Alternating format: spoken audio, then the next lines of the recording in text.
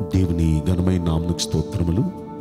ఈ వాగ్దానం వింటున్న మీకందరికీ మన ప్రభును ప్రియరక్షకుడైన యేసుక్రీస్తు నామములో శుభములు. మా హృదయపూర్వకమైన వందనములు తెలియచేస్తున్నాం. ఈరోజు దేవుని వాగ్దానం కీర్తనల గ్రంథం రెండవ కీర్తన ఎనిమిదవ వచనం. నన్ను అడుగుము భూమిని దిగంతముల వరకు సొత్తుగా ఇచ్చేదను. ఈ వాగ్దానం వింటున్న మనందరి వెనుకలో మంచి దేవుడు నెరవేర్చునుగాక ఆమెన్. ప్రభు అంటున్నారు ఆయన అడగమంటున్నారు నన్ను అడగండి. భూమిని దిగంతముల వరకు మీకు స్వాస్థ్యంగా నేను ఇస్తాను మీకు సొత్తుగా నేను ఇస్తాను అంటున్నారండి. అంటే మనం అడిగితే ఏదైనా ఇవ్వటానికి ప్రభు సిద్ధంగా ఉన్నారు. అయితే అడిగే మనం ఎలా ఉండాలో ఆ పై వచనం చెప్తున్నాడండి. నీవు నా కుమారుడవు. నేను నిన్ను కని ఉన్నాను. మనం ఆయన పిల్లలమండి. ఆయన పిల్లలుగా మనం బ్రతకాలి. ఆయన పిల్లలుగా మనం ఉంటే మనం ఏది అడిగినా ప్రభు ఇస్తాడు. ఇంతకీ ఆయన పిల్లలంగా మనం ఉండాలంటే మనం ఏం చేయాలి? యోహాన్ శుభవార్త మొదటి అధ్యాయంలో పన్నెండు వచనంలో మనం పరిశీలిస్తే అక్కడ అంటున్నాడు తన్ను ఎందరు అంగీకరించరో? వారందరికీ అనగా తన నామందు విశ్వాసముంచు వారికి దేవుని పిల్లలగుటకు ఆయన అధికారం అనుగ్రహించాను ఈరోజు ప్రియ దేవుని పిల్లలారా దేవుణ్ణి అంగీకరించారు కదా మీరు? ఆయన నామందు విశ్వాసం ఉంచి దేవుని పిల్లలయ్యారు కదా దేవుణ్ణి అంగీకరించారు కదా? అలా అంగీకరించి బాప్తిస్మం పొందిన వారందరికీ దేవుడు ఒక రైట్ ఇస్తాడు. ఆ రైట్ ఏంటంటే మీరు దేవుని పిల్లలు. వాగ్దానం వింటున్న మీలో ఇంకెవరైనా బాప్తిస్మం పొంది యేసుక్రీస్తుని మీ రక్షకునిగా అంగీకరించని వారు ఎవరైనా ఉంటే మీరు యేసుక్రీస్తుని మీ రక్షకునిగా బహిరంగంగా అంగీకరించాలి. అదే బాప్తిస్మం.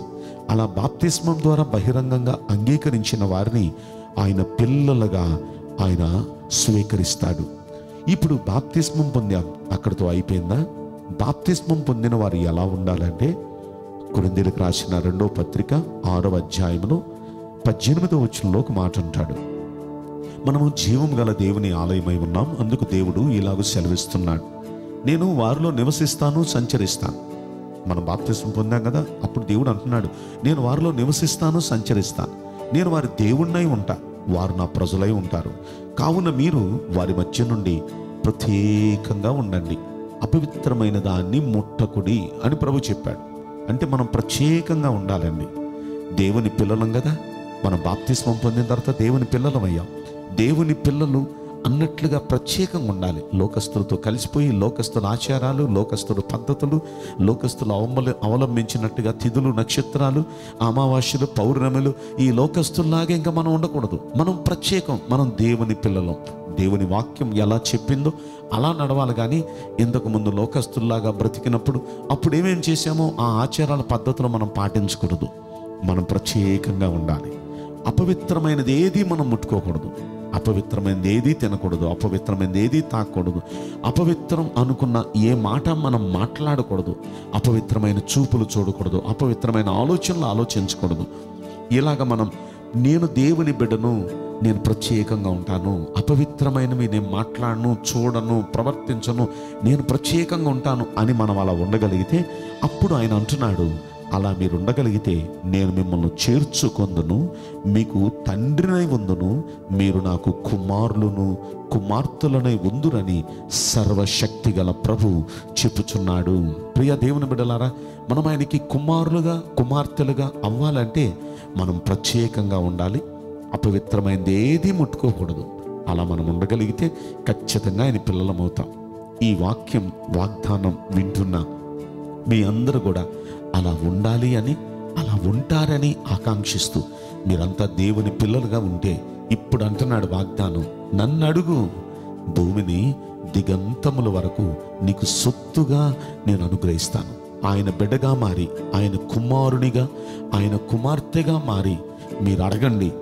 అడిగితే అంటున్నాడు భూమిని దిగంతముల వరకు నేను నీకు సొత్తుగా ఇస్తాను అంటున్నాడు. అంటే ఏది కావాలంటే అది ఇస్తానంటున్నాడు కనుక మీరు ఆయన బిడలగా మారి ఆయనకి ఇష్టమైన జీవితం జీవిస్తూ మీరు అలా పొందుకోవాలని మనందరం అలా పొందుకోవాలని ప్రభు పేరట ఈ వాగ్దానం మీకు తెలియపరుస్తున్నాను. మీకోసం నేను ప్రార్థన చేయబోతున్నాను.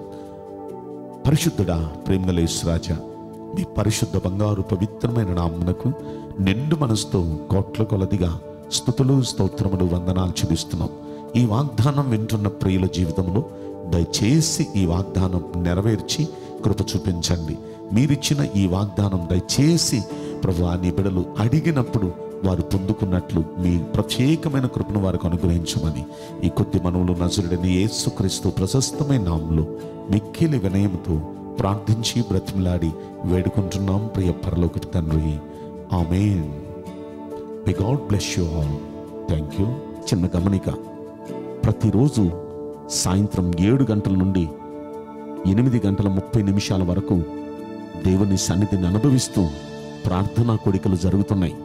దయచేసి ఇంతకు ముందు చూడని మీలో ఎవరైనా ఉంటే మీరంతా కూడా ఆ ప్రార్థనా కోడికల్లో పాల్గొని దైవికమైన ఆశీర్వాదాలు పొందాల్సిందిగా పొరపాటు మీకు మనం చేస్తున్నాం. చాలా గొప్ప గొప్ప కార్యాలు జరుగుతున్నాయి. ఇంతకుముందు ఎన్నడూ పాల్గొని వారు ఎవరైనా ఉంటే ఎందుకు మీరు పాల్గొకూడదు? మిమ్మల్ని అందరినీ మీటింగ్కి ఆహ్వానిస్తున్నాం. ప్రతిరోజు సాయంత్రం ఇదే ఛానల్లో ఏడు గంటల నుండి జరిగే ఆ మీటింగ్లో మీరు కూడా పాల్గొని దైవికమైన ఆశీర్వాదాలు పొందాల్సిందిగా మిమ్మల్ని ఆహ్వానిస్తున్నాం. May God bless you thank